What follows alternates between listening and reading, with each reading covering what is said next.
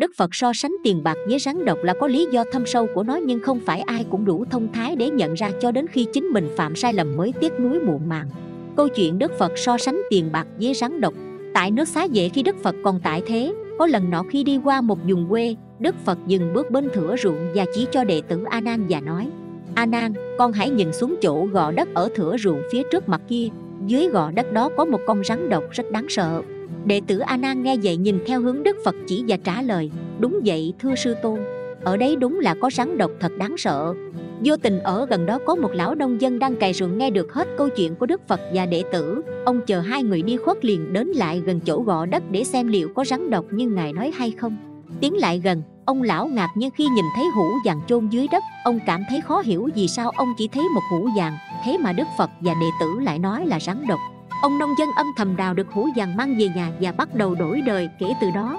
Ông thoát khỏi cảnh nghèo khó xưa kia Không phải đi làm nông nữa. Ông dùng vàng mua thức ăn ngon về thưởng thức Mua đồ dùng mới trong nhà Sắm sửa thêm quần áo mới.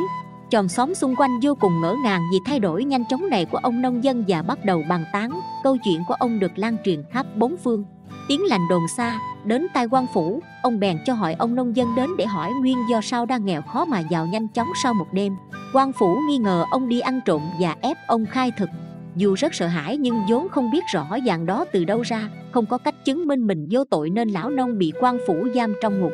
Ông vô cùng khổ sở vì ngày nào cũng bị hỏi cung. Thậm chí người nhà dùng hết số vàng đi hối lộ hết lần này tới lần khác chỉ mong bảo toàn mạng sống cho ông nhưng cũng không thành. Cuối cùng lão nông bị phán quyết tử hình. Ngày lão bị đưa đi, vừa nhìn thấy đoạn đầu đài liền vô cùng sợ hãi, miệng không ngừng kêu gào thật đúng là một con rắn độc rồi Đức Phật Thích Ca, Ngài A Nan ơi đúng là một con rắn độc rất lớn. quan phủ nghe thấy những lời nói kỳ lạ nên nghĩ rằng có điều gì ẩn khuất nên tâu vua. Đức vua nghe xong càng tăng thêm nghi ngờ, vua gặng hỏi thêm: "Này lão nông, nuôi phạm tội ăn cướp, bị phán tội tử hình. Khi lên đoạn đầu đài tại sao lại không ngừng kêu la?" Câu nói đó có nghĩa là gì? Thưa đức vua, một hôm khi con đang cày ruộng thì gặp Đức Phật Thích Ca và ngài A Nan đi ngang qua. Họ nhìn gò đất có chôn một hũ vàng và nói nơi đó có một con rắn độc lớn. Nhưng con lại cứ cố tình không tin, nên sau đó tự mình ra đó đào lên và thấy đó là một hũ vàng. Con mang nó về nhà cuối cùng bị kết án tử như ngày hôm nay, đúng quả là hũ vàng bạc đúng là một con rắn độc. Mặc dù vàng bạc có thể giúp con trở nên giàu có, nhưng ngược lại cũng có thể làm con mất mạng. Đức vua nghe được những lời chân thành tha thiết từ tâm của người nông dân, trong lòng bừng tỉnh triết lý của đức phật và tin tưởng vào những điều người nông dân kể cuối cùng đức vua phán quyết người nông dân vô tội và thả ông ta về. Người nông dân từ bấy giờ chăm chỉ làm lụng Không tham lam bất kể thứ gì không phải của mình Giữ đời thanh sạch nhẹ nhàng, ăn vui. Thấy giàu nhanh chớ dội, hưởng lợi lộc quá sớm Thực ra lại là cải bẫy khiến không ít người trẻ trở nên lười lao động Thậm chí có nhiều người sa đà vào con đường nghiện ngập. Ăn chơi sa đọa chỉ vì có quá nhiều tiền khi tuổi còn đang trẻ Trên thế giới đã có vô số ví dụ về những người nổi tiếng sớm. Bằng tài năng trời ban, họ kiếm tiền dễ dàng Sau đó lại bị mất phương hướng cuộc sống ở tuổi 30 Vì họ tưởng họ đã đạt được tất cả. Thiếu mục tiêu thiếu lòng quyết tâm thiếu động lực. Nên cuộc đời của họ tưởng rằng rất rực rỡ nhưng cuối cùng lại đi vào ngõ cụt. Vì thế những cực khổ của ngày hôm nay mới thực sự là cơ hội để ta có thể thành tựu những huy hoàng trong tương lai. Một người nếu muốn đạt được thành công thực sự trong cuộc đời nhất định phải nhẫn nhịn chịu khổ chăm chỉ làm việc nhưng không quên mở rộng tấm lòng. Ngày nay từ trẻ cho tới già không phân biệt thành thị hay nông thôn, kẻ ngu hay người trí, đều bị đánh vào tâm lý làm giàu nhanh nên dễ bị rơi vào cái bẫy của các đường dây lừa đảo. Đặc biệt, những tay biệt bợm rất khôn ngoan, biến tướng dưới các hình thức đang hot hiện nay như khởi nghiệp, chứng khoán, bất động sản, kêu gọi đầu tư, góp vốn, chung tiền của những tay mơ ham làm giàu.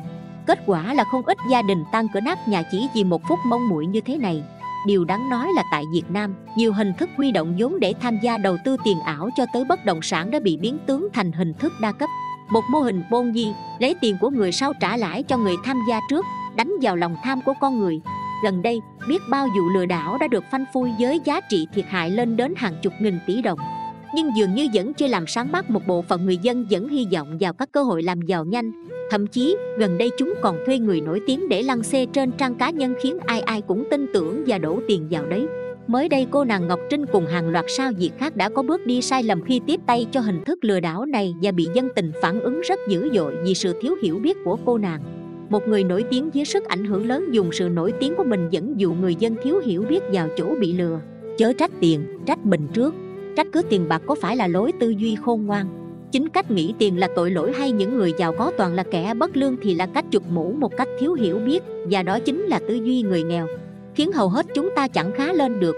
Nếu bạn hiểu vì sao người do thái coi trọng sự giàu có bạn sẽ biết rằng có mục tiêu tiền bạc để bản thân sáng tạo hơn, có kế hoạch cuộc đời rõ ràng hơn. Thì đó là điều rất tốt. Thực ra tiền cũng chỉ là một vật vô tri, vô giác, chúng hoàn toàn không có tội, không phải chịu trách nhiệm cho những việc con người làm chính chúng ta, người sử dụng những đồng tiền ấy cho mục đích gì mới phải trả giá cho những gì mình đã làm mà thôi. Chính bạn nếu có trong tay nhiều tiền nhưng tiêu xài hoang phí, không chịu lao động để gia tăng tài sản. Cuối cùng để bản thân nợ nần chồng chất, để mình tán gia bại sản tức là tự đẩy mình vào địa ngục.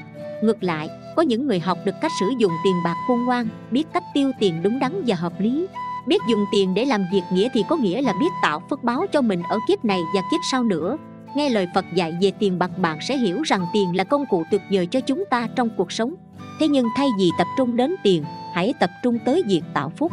Ví dụ như dùng tiền để giúp những người nghèo khó, xây trường học cho trẻ em, xây cầu cho những vùng xa xôi, hẻo lánh, mang lại cuộc sống tốt hơn cho mọi người thì tiền thực sự là người bạn tốt của chúng ta đấy chứ.